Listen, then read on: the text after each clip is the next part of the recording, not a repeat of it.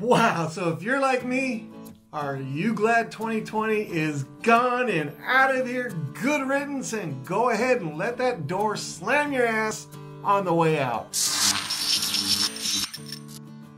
Steve Arthur here with your December 2020 real estate report, and it is the last one for Long Beach and for the LA County for the year 2020. Thank God. This year was really, really bad, but the one thing that did survive was the real estate market. So some crazy things have been happening in the market, as I'm sure you have all been aware. Homes are selling, they're selling fast, and we're gonna go ahead and start with LA County's market report, and then we're gonna go into Long Beach more localized here. Okay, we're starting in LA County. So what we're gonna do is start with LA County and get the little more local report for the city of Long Beach. Now, in the month of December, LA County had a whopping 4,592 closed sales. that sounds like a bunch, doesn't it? But when you only add to that a new listings of 3,056, that only leaves us with a two month supply. And remember, to be a neutral, happy, healthy market, you need at least a six month supply. So this still leads us into a seller's market.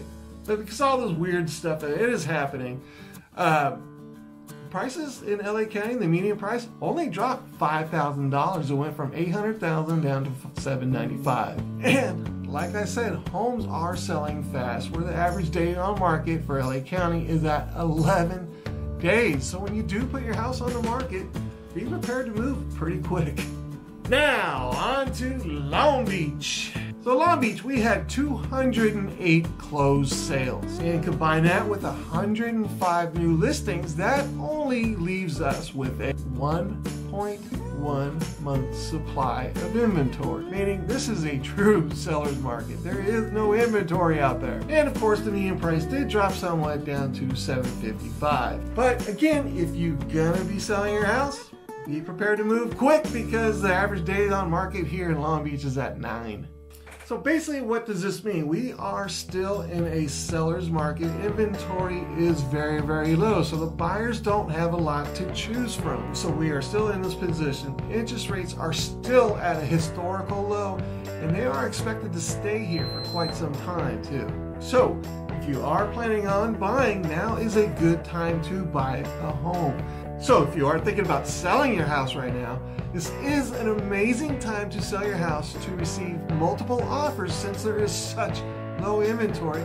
Your house will be in demand. So I hope you found this information helpful. If you need any help at all, all my information is down below and I'm here for you anytime that you need. Until next time, you take care and goodbye 2020. That's all, folks.